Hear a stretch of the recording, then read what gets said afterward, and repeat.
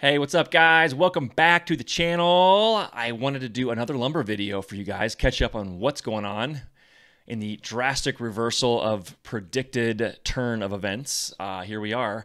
Um, before we get started, make sure you guys hit that subscribe button, please. More subscribers more content goes out to more people, the more information we can share with each other. I appreciate you guys doing that. Hit that bell for notifications if you haven't already. That will tell you when other videos come out, including our live stream.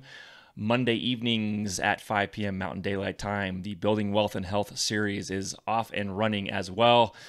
Make sure you guys check out the podcast on all audio platforms as well and here on the YouTube channel. Um, so, without further ado, let's get into it. Oh, by the way, uh, I know I haven't done real estate vids in a little bit, so those are coming back out next week. All the real estate guys, hang in there with that. And if you got any questions in the meantime, feel free to leave them in the comments below. Uh, check out the merch on builtbybaileys.com as well. Get some of these if you want. Okay, without further ado, here we are. Here we are, the giant reversal of lumber. Okay, what is this? What does it mean? What's going on? Uh, what does it mean to the consumer? What does it mean to the market in general? What's happening, Shane? Please, please, please inform me.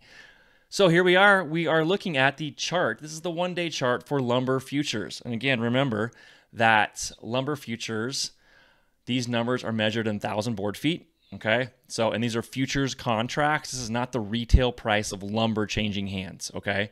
Keep that in mind as we kind of get into this video. Ah, back in September of 2020. Yeah, remember that? I don't even want to think about that year. So here's where we, as we saw in the other videos, here's where we started seeing that drastic run. This is the point of um, panic, I'll call it, as we talked about the other videos, and then the giant run up to uh, the highest futures price ever of 1700 on May 7th. Okay. Since then, we've had a giant reversal. You guys can see since that point, it's basically fallen off a cliff.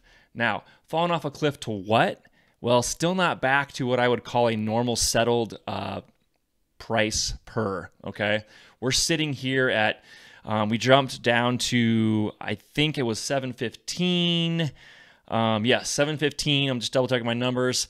That's the lowest it was it has been since the second part of January, guys. Okay, so before we had this crazy run, as I'm pricing out uh, uh, construction projects, home builds. Um, I'm pricing them back in January, putting estimates together, and then this nonsense happens, and all of a sudden, literally, literally doubled or more in price. Futures contracts went up, retail followed, and suddenly my estimates for lumber were double or more on a lot of contracts. It makes me want to vomit. I know a lot of people in the same boat, and that was um, about as most fun as I could ever have. Right? It literally jumped 500% between April and May of this year. That is insane. You think about all the effect it has on the market by doing that, okay? Like I said, we hit an all time high of 1700 on May 7th. Since then, we've had a run back the other way. We're trying to get back in a normal channel at this point, okay? Now, I know everyone's sitting here watching this and going, but Shane, the two by fours at Home Depot are still eleven dollars, bro. What's going on?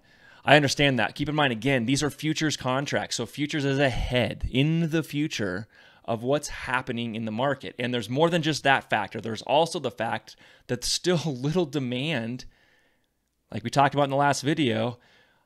Me and personally and other people are still saying there's still on the retail side, and even for me on the wholesale side, because this is again one more step out of the futures, the wholesalers are still priced pretty high. I'm saying I don't want to do them. I don't want to buy that lumber right now. There's little demand. That's what's really happening. Okay. The demand has to pick back up. Mills are still trying to catch up. And again, we talked about in the last video, all the production of all the different types and sizes of lumber. It's a lot of product to change hands, a lot of product to get caught up on. But if there's no demand, once it sits at the mill, I mean, sorry, once it sits at the, the wholesaler, the distributor, if there's no one walking in like me and saying, yo, I need another, I need another order, what are they going to do with it? That's what's happening at places like Home Depot as well. There's little demand for it. And they're still, because you got to keep in mind, big box stores like Depot, Lowe's, whoever, bought that lumber at a future price. Okay. So they bought it at the price of X and they're trying to sell it for Y still, which is not equating to what the futures are doing right now. And it's not helping with the fact there's very little demand still. Contrary to proper, prop, wow, contrary to popular belief. Sorry about that. There isn't the demand that the media is talking about. And there's the reason is because of the price. Okay. Even even the retailer, the retail buyer is not paying 11, 12 bucks for a two by four anymore. Little tiny jobs, they don't care. But when we're getting into bigger remodels, basement finishes, even additions, the homeowner's saying, I'm going to wait. And they keep coming to me and other people like me and ask me, when should I be ready to go? Well, look, guys, we're at a price now where once the retail side catches back up in price, and I'll tell you how that's going to work, um, we're going to get to a point, like I said, towards the end of this month and beginning of August, where the prices may make sense again. And then you're going to see a reversal. But in the meantime, the big box stores, the retail side of it, like I said, they bought that lumber at a futures price. Okay. So they're still trying to sell it at that price, even though the futures themselves have dropped. So they're still trying to sell them at 10 or 11 dollars with no demand. It's not going to move. Nothing's going to change. The only thing that's going to start changing is when they start dropping that price, which they're going to have to to unload the inventory that's sitting in those stores. So keep that in mind. No demand. Lumber starts to fill in. They keep Depot and Lowe's and all those guys have bought all that lumber at a futures price and they got to, they're trying to sell it to try and make, you know, squeeze some profit out of there. You're going to start seeing that price dip a little bit at the store, but they're still going to try and squeeze some profit out of there. Obviously, they're not a for-profit business, right? They're going to get to that point where the demand won't catch up to them trying to squeeze down that price and they're going to start giving it away, right? Giving it away, which is really not giving it away. It's just they're to have to cut their price to like 80 to 70% of what they paid for it. So they think they're giving it away because they're not at full profit. But to us, it's still expensive. That will start to correct itself.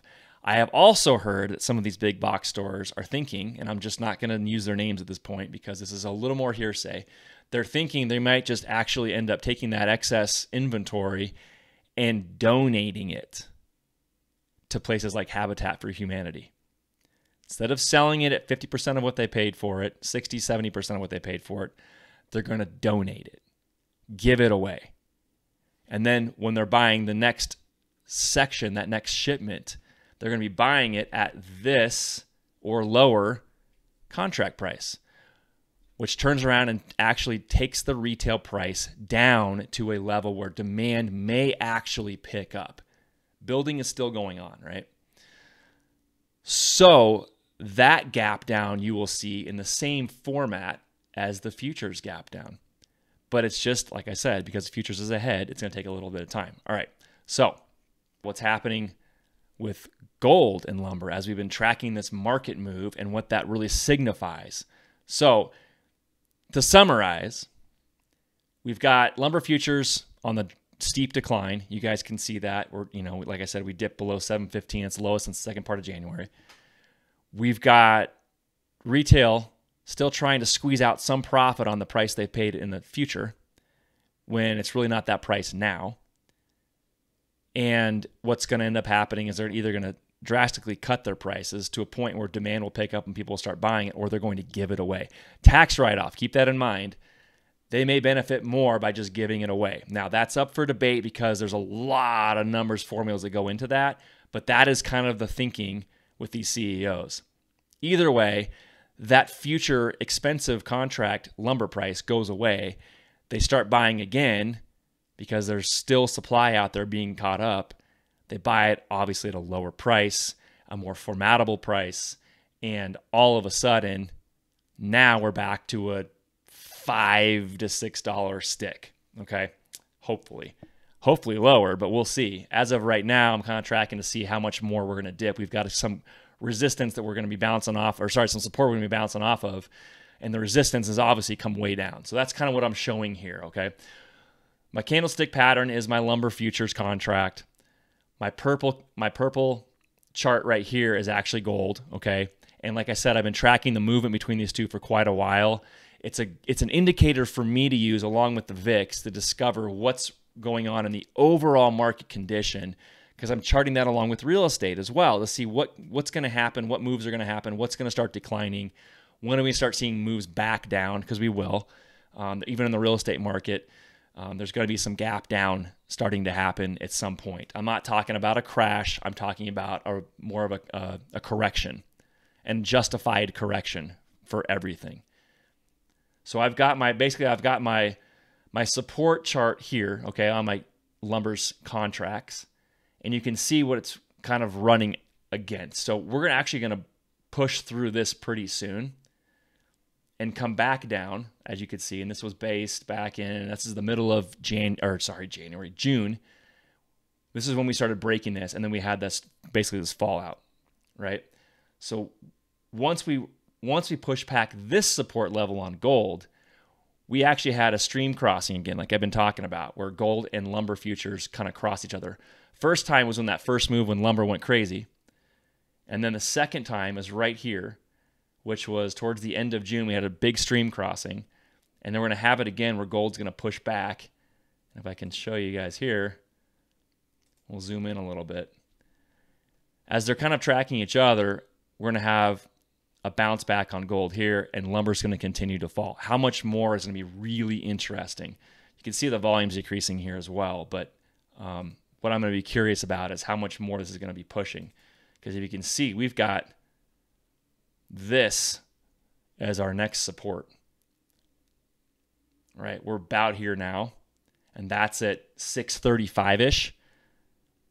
485 was before the holidays this is where lumber made sense, in my opinion. But that's where most of the, the movement was happening. Um, we've got one more support at 635. We go through that. We're going to get back to a $3, $4 stick. Fingers crossed, I guess. I don't know. So keep that in mind. I'm going to continue to watch this you are going to start seeing some retail numbers drop dramatically. I know right now you're probably not seeing that. Some stores are showing that, some aren't. It really depends on how far that lumber is going, like we talked about in the last video.